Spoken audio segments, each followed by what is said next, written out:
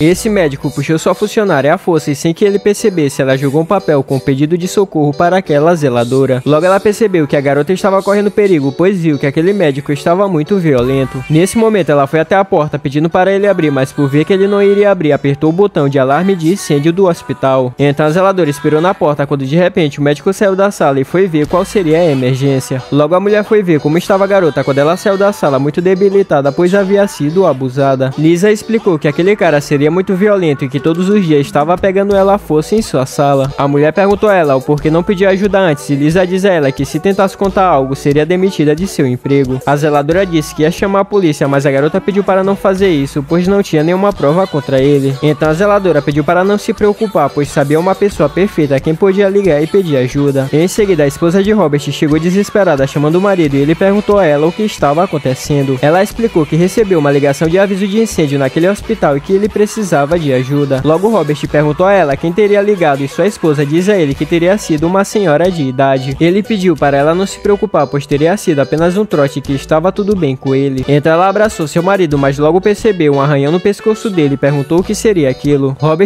pediu para ela ir para casa e que aquele arranhão teria sido feito por um paciente descontrolado. Aquele médico tarado foi até a enfermeira e perguntou a ela se não teria visto a enfermeira Liz em algum lugar. Ela falou que não, então Robert pegou o celular para ligar para ela quando de repente o celular dela tocou em cima daquela cama. Nesse momento, ele pegou o celular de Lisa, que estava enrolado no cobertor, e perguntou novamente à enfermeira onde estava a garota. Ela diz a ele que estava na sala ao lado, e logo Robert foi atrás dela para tirar satisfações com ela. Então ele percebeu alguém enrolado no cobertor e, achando ser ela, começou a passar a mão naquela mulher. Porém, quando ele tentou pegar pelo seu pescoço, viu que na verdade aquela mulher seria a zeladora. A zeladora perguntou o que ele queria com ela, e logo Robert, com raiva, falou que ela estava demitida de seu hospital. De repente, Lisa aparece atrás voz dele dizendo que nunca mais deixaria tocar nela novamente, pois chamaria a polícia. Mas logo Robert começou a rir, chamando ela de inútil, que jamais a polícia acreditaria em uma garota e uma zeladora. Então Lisa falou que ele estava enganado e que a polícia iria assim acreditar nela, pois teria testemunhas para ajudá-la. O médico perguntou quem eram as testemunhas e logo Lisa abriu a cortina mostrando que teria várias pessoas escutando tudo. Logo o médico ficou desajeitado, pois viu que estava ferrado quando sua esposa chegou chamando de imundo. Robert